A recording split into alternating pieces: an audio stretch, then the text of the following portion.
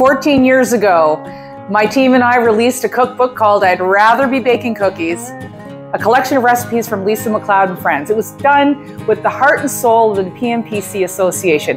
We're going to re-release this cookbook on September 27th. You can get it on Amazon and we're going to be releasing a second cookbook and you can be part of it.